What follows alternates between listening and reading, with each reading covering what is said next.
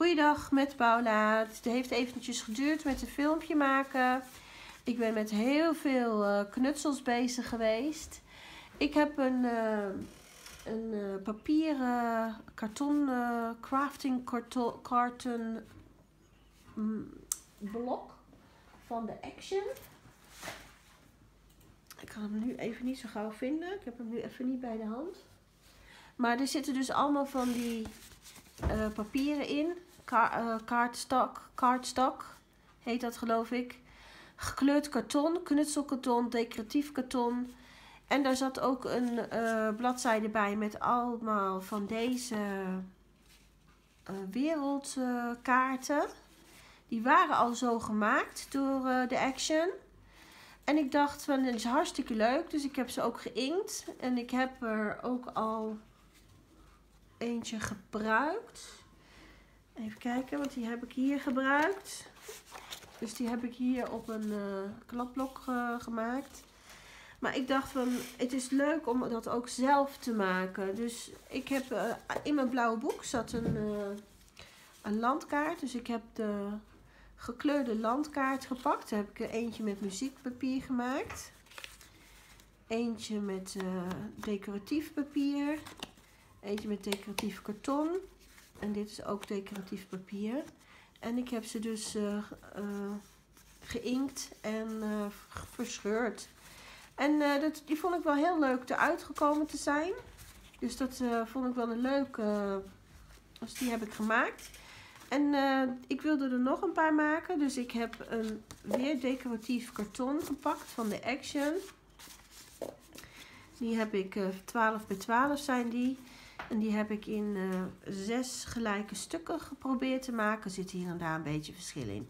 Ik heb een stukje wit papier had ik. En ik had nog wat wittig, antiekig, uh, verschillende kaartvormen. En ik dacht, ik ga er nog een paar maken. En deze is dus in principe, heb ik ook een beetje gekeken. Er staat dus hier dus op deze kaart ook Afrika. En dit is ook Afrika. Dus ik denk deze kan hier dus wel mooi op. En dan met een stukje schrijfpapier erbij. En aan de achterkant, als je hem inscant, wordt de achterkant een journal, uh, een journal. Dus ik denk dat is wel een leuke combi. Dus ik uh, heb mijn bison weer gepakt.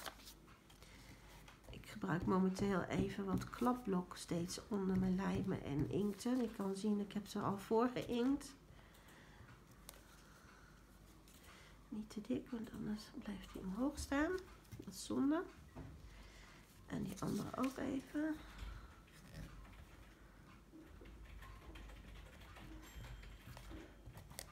Ik had eerst dat hoekje willen afronden. Hier.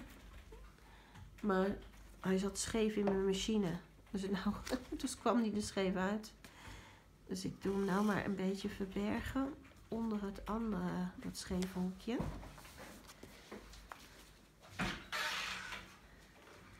Uh, mijn man is ook thuis weer, die, helpt mij met de camera.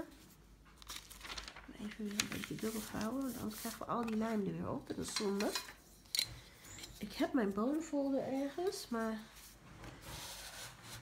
die kan ik weer niet vinden. Ik had hem net nog in mijn handen, maar heb hem weer ergens neergelegd. Dus zo maak je met een hele simpele oud uh, vintage boek waar je mooie plaatjes uitscheurt en een beetje inkt. En uh, maak je dus eigenlijk wat zij al voorgeprint hebben. En uh, sorry, ik zat uh, even aan de camera, mijn excuus daarvoor. Dus ja, zo krijg je toch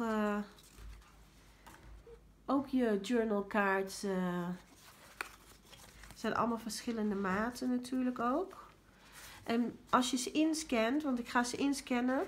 Binnenkort ga ik gewoon ook een video over al de ingescande dingen. En dan uh, zal ik ze ook als freebie uh, uh, klaarzetten voor persoonlijk en voor commercial gebruik. En ik dacht van nou, dat zijn wel hele leuke journalkaarten. Dus ik ga er nog eentje maken, want ik had er nog één klaargelegd. Dus Afrika met Afrika. En hier staat dus een beetje de Noorwegen op. En dit is ook het uh, ja, Europa.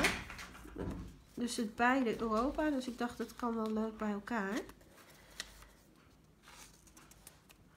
En dan het witte is dan ook weer om een beetje op te schrijven en zo. En je kan natuurlijk altijd leuk op foto overheen. Uh, want het wordt gewoon een leuk stukje papier wat je ook als foto en als journalkaart uh, kan gebruiken in een uh, fotoalbum. En ik wilde ook nog een video maken met uh, Frankenpages. Want ik heb ermee geëxperimenteerd. En ze zijn, ik vind het ontzettend leuk om te doen. Het is echt een leuke, leuke bezigheid, zo'n Frankenpage. ik heb het uh, genaaid onder de naaimachine. Deze ga ik ook nog even onder de naaimachine doen. Deze, um, deze vond ik toch wel leuk om. Want deze hebben wat minder dan de gekleurde. Deze heeft uh, meer lagen papier. Dat kan je ook zien. Die heeft meer dimensies. En deze heeft natuurlijk iets minder dimensies. Dus ik dacht dat ik daar even met de naaimachine overheen ging. Dus dat zal ik zo meteen ook nog even laten zien. Dat ik dat gedaan heb. Maar eerst even vastplakken natuurlijk. Uh, vandaar. En even nog. Uh, ik heb hier nog een stukje wit papier. Even nog een beetje inten. Zo. Even tekst erop. En dan zal ik nou even kijken. Ik heb wat ik voor kaartje hier heb. Dit is Frankrijk. Ja, dit is Frankrijk. Ik denk niet dat ik Frankrijk heb hier tussen zitten. Ja, misschien. Nee, dus Groenland. Mexico. En dit is volgens mij ook... Uh, dan nemen we deze.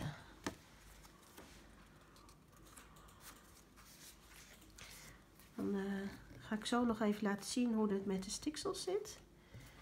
Hoe die er dan uitziet. Hoe ze dan helemaal klaar zijn. En dan kom ik zo nog even terug op de video. Om dat te laten zien. Want ik ga niet met de naaimachine op de video. Want het geeft zoveel geluid. Dat lijkt me helemaal niks. Uh, word je volgens mij helemaal horend doof van. Maar in ieder geval, we zijn nog allemaal verkouden zoals je hoort. En zo kan je dus heel eenvoudig zelf je journalkaarts opbouwen. Ik zal er nog eentje doen. Ik heb nog eens twee stukjes papier. Even kijken of ik nog... Uh,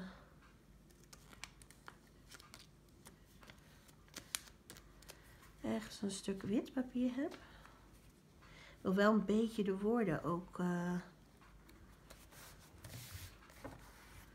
beetje dezelfde kant op laten lopen. Het zal niet altijd helemaal lukken, natuurlijk.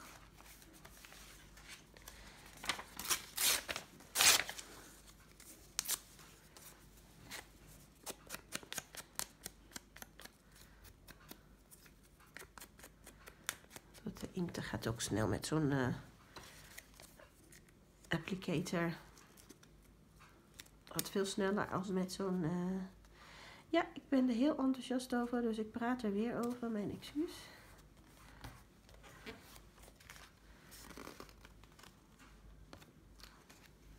Dus het was wel een leuk idee om dat zo te doen. Dan heb ik er nog eentje. Met dieren. Ik ben wel heel blij met mijn bison uh, kitje. Mijn bison... Uh, droge lijm, want het is eigenlijk een beetje een droge lijm, hè. Is, vind ik wel een hele goede lijm. Zit ook gelijk goed vast vaak.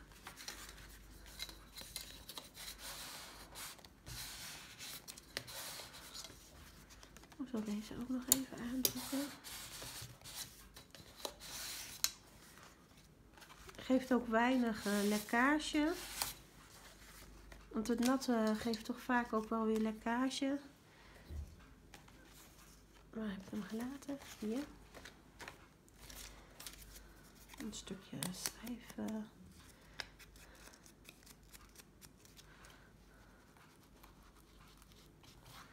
papier erop onder. Dus wel allemaal uh, papier van hetzelfde boek. Want het is dus heel, heel dun, heel flimsy. Het is wel allemaal van hetzelfde soort boek.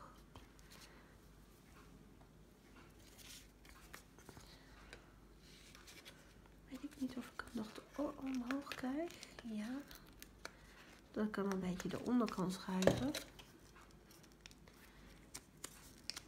Dus dan als je hem inscant, dan komt de achterkant in principe kan je hem dan printen op 100 eh, grams uh, kartonpapier. En dan de achterkant uh, weer inkten. En dan heb je dus de achterkant als journal, uh, journalkaart. En de voorkant kan je of een foto maken of als decoratie gebruiken. En je kan hier ook nog een beetje schrijven. Dus ik ga ze onder de naaimachine leggen. En dan kom ik zo nog even terug om te laten zien wat daar het resultaat van is. Tot zo!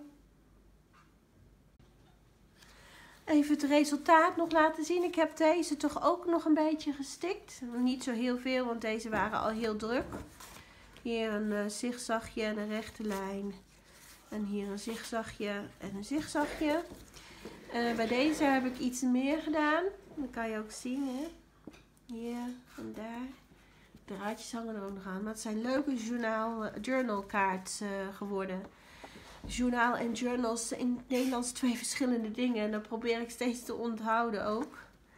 Maar uh, dit wordt dan, als je ze inscant, natuurlijk gewoon wit. Maar het zijn leuke decoratieve kaarten geworden. En ja, ik ben eigenlijk wel heel blij mee. Van iets wat gekocht is en wat we vintage gehaald hebben, uh, hebben we toch uh, iets leuks gemaakt. Wat toch ook ter inspiratie uit de, de decoratieve kaarten van de Action uh, kwamen. Dus begin aardig al een, een, voorraadje te krijgen van journalkaarten. Want ik heb deze natuurlijk ook nog gemaakt. Ik weet niet of ik die al had laten zien. Maar deze zijn dus met foto's in plaats van landkaarten. Die, die, die fotootjes komen ook van de Action en het papier natuurlijk ook. En uh, ik heb er nog uh, een stapeltje wat ik in wilde scannen. Maar...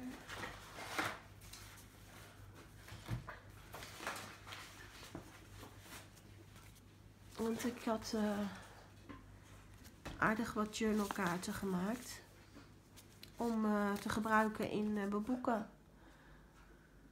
Inscannen en dan gebruiken in de, in de journals, in de boeken die ik aan het maken ben. Dus ik begin al een aardig voorraadje te krijgen. Ik heb nog een manier die ik jullie wil laten zien in de volgende video om nog meer journalkaarten te maken. En uh, op deze manier hoop ik uh, dat ik straks uh, leuke freebies kan inscannen. Het is natuurlijk dat de freebies, de pdf-file is niet voor commercieel gebruik. Je kan niet mijn pdf-file gewoon verkopen.